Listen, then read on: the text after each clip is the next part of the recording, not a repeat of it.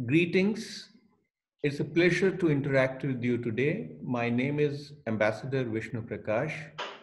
I retired as India's High Commissioner to Canada in 2016. I've also had the honor of flying the Indian flag as the ambassador in South Korea, serving as the official spokesperson of the Ministry of External Affairs, being the Consul General of India in Shanghai, I have also been fortunate to have served in important capitals like Tokyo, New York, uh, Islamabad, Cairo, and so and Moscow. Today, I'm going to speak on the very important subject of para-diplomacy in India. I will certainly contextualize it uh, to present some of the the examples from countries which are have taken the lead in para-diplomacy, talk about the practice, the positives, and the tremendous potential that obtains in, making every state a stakeholder and in, involving them actively in para-diplomacy. Para-diplomacy is a growing phenomena in India as well as in developed federal and large countries the world over. I've been fortunate to witness the practice firsthand in can, countries like Canada, South Korea, and China, which are really wedded to the concept of para-diplomacy. Now, what is para-diplomacy? It's also called subnational diplomacy.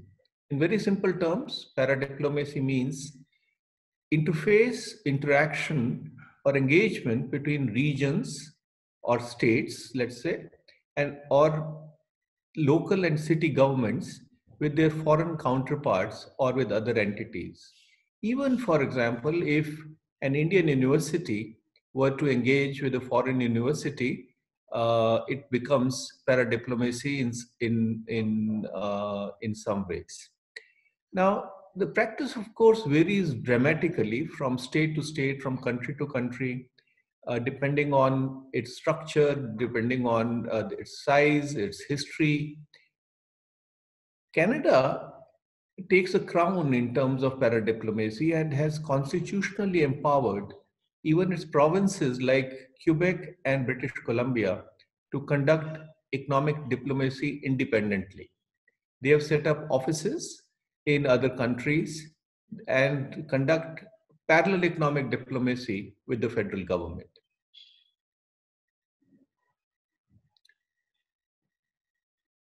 Now, what is the need of para-diplomacy? It promotes cooperative and competitive federalism. The federal government or the central government has so many things up on its plate in today's world, which is a very complicated world, which is a very competitive world. The central government should and can look at the big picture, create an enabling environment and then bring in the states as partners to give them a stake in development of economic ties, cultural ties, people to people ties, promote uh, health, education, infrastructure, and so on. So it makes states an equal partner in the socio-economic development, which is the buzzword today. The need has also been fueled by the emphasis on connectivity, development, attracting foreign direct investment because the investment dollar is finite and the needs the world over are, are much more. So there is a competition and if the stakeholders engage directly in attracting FDI, uh, there is a competition among states and here I'm talking of India. Certainly uh, it, it will bring the, their best to the fore. They'll be able to present different investment situations and be able to uh, optimize in terms of attracting foreign direct investment. And then there's a question of enhancing trans-border security, uh, where again the states have a, a role to play. Now the trend is facilitated by globalization. The world is shrinking, communications have become faster, information is at the command with uh, the, no, the non-central or non-federal player, subnational players, there is a relaxation of diplomatic norms, and then it's the standing of India and the Indian diaspora which makes a big difference. And especially in the economic sphere, there are certain states which have taken the lead. For example, uh, states like Gujarat, Punjab, and Goa have been conducting investment summits uh, every second year, and they have become good platforms to provide, to showcase the investment opportunities in, in India, and they are being quite successful in attracting investments. Now, there are various kinds of uh, para-diplomacy or subnational diplomacy.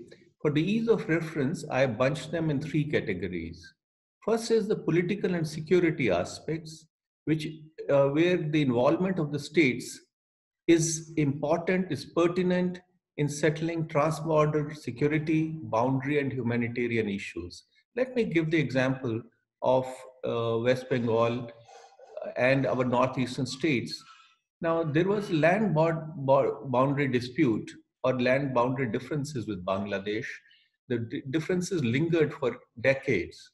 But in 2015, at the encouragement of Prime Minister Modi, these states in question, Bangladesh, uh, West Bengal, and our North Eastern states, along with the central government, sat down with Bangladesh. They negotiated, they discussed it, and they were even parties to signing the agreement. And we uh, there was it was successful. So basically the idea is that when you bring bring in the states as stakeholders it makes things easier it makes move makes things faster and then the core of subnational diplomacy or para-diplomacy is the socio-economic aspects which i've touched upon promoting foreign direct investment trade education. Now, India has uh, about 10 million to 12 million youngsters join the job market every year, which means that 10 to 12 million youngsters need to be trained. So, for us to bring in the best practices of vocational training from uh, the countries all over the world, for example, Canada, where I've served in, uh, are extremely useful energy, we, we need energy security, science and technological cooperation. So there are a host of areas where the direct user, which is the states, uh, if they come into the picture, uh, they they can make uh, they can make, be much more effective in promoting or forging meaningful cooperation. And third category now is the outreach to the Indian, Indian diaspora. Indian diaspora. By some yardsticks, we have the world's largest diaspora of more than 30 million and growing. Uh, we are attracting the largest remittances from uh, the world, uh, which are diaspora sends from the world over, close to $80 billion last year. And there are both kinds of, uh, there are two kinds of uh, members of the diaspora, the blue collared workers who are in the in the Arab world, some seven million of them or even more, and then the white collared, highly educated uh, experts or technocrats who are in countries like the US, Canada, US, uh, UK, Australia. Now, they want to, now they have, and they are, by the way, very, they are affluent.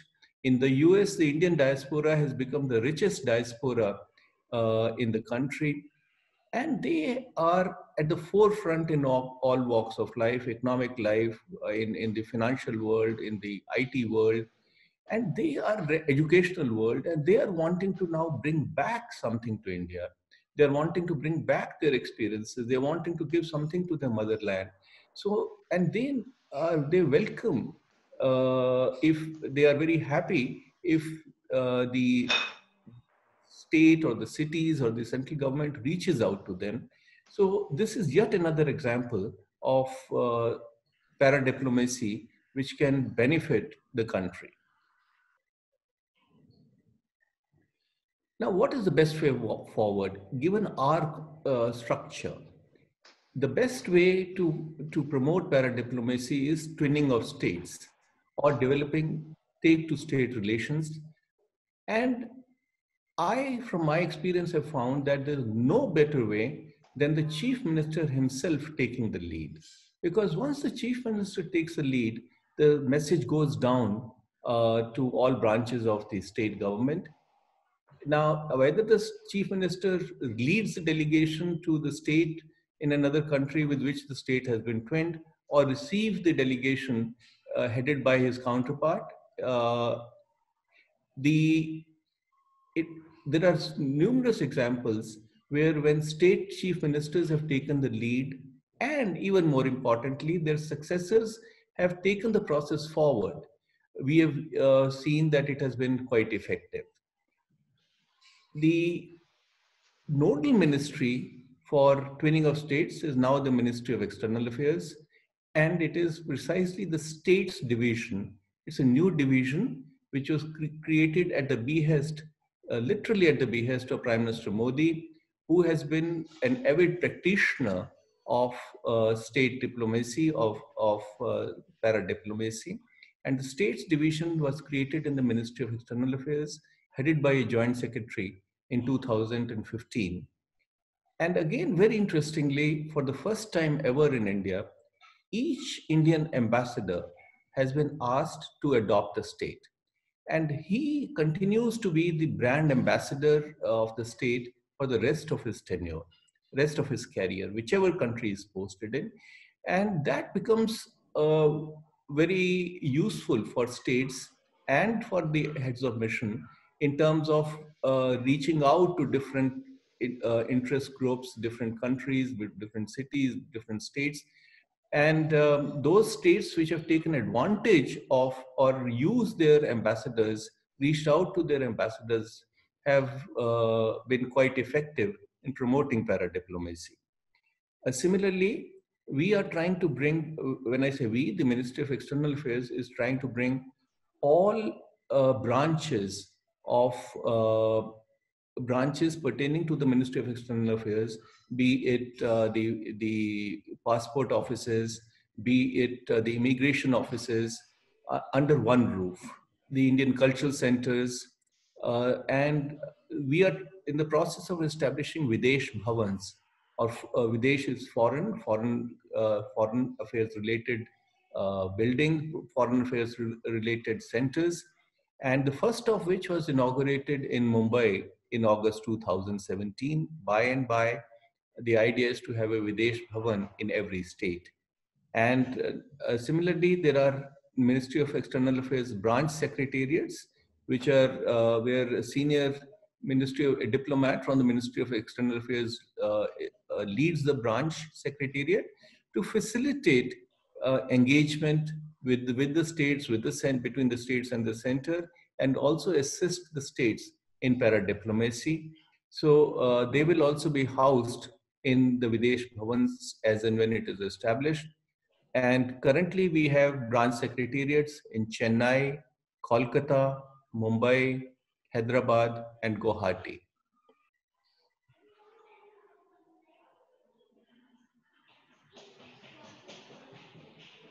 Then there's the question of twinning of cities. And here the nodal ministry is Ministry of Urban Development. I'm afraid the picture is not as healthy here. Uh, the Economic Times had an article in July 2015, uh, which says that in 2015, India had over 100 sister city partnerships, but mostly remained largely ornament ornamental, except in some cases for fostering closer cultural bonds. Now, why is it so? It is because of our structure in most of the countries or many countries where the sister twinning of cities is effective, you have executive mayors who are powered, who are elected mayors. For in our country, uh, mayors are more of a ceremonial position. They have limited powers, with the executive powers vested in the municipal commissioner appointed by the chief minister or by the state head. So in the Indian context, uh, having sister city relationship is not very effective. And in the, uh, it is much better to go in for twinning of states and certainly associate the cities which are interested in promoting para-diplomacy. Now, I have served in China, and China is one country which has mastered the art of paradiplomacy. Uh, they have, at the, uh, till two years ago, three years ago, they had more than 2,000 sister city engagements, and they have unleashed a competition between cities. They are trying to reach out to, to their counterparts the world over and try to, to gain the best practices, forge economic relations, forge culture, cultural relations. And that is what is required in India also to, to unleash competition, healthy competition between, uh, the, between the states, between the cities, so that um, they try to, to put their best foot forward. They try to learn from the best practices and uh, generate interest and healthy development in the state. Some concluding thoughts. Uh, paradiplomacy is the need of the hour. And I'm glad to say that India, under the, the, the especially under the present government, is uh, focusing very strongly on paradiplomacy. The big thing is that we have been engaged in paradiplomacy for a long time. We didn't call it so. But there was a sense of ad hocism. It depended on uh, a, a certain chief minister or a certain mayor or a certain local leader. But now, with the steps that I've enumerated above, we are trying to put a structure to it. And once there is an institutional framework, things will become that much uh, more effective.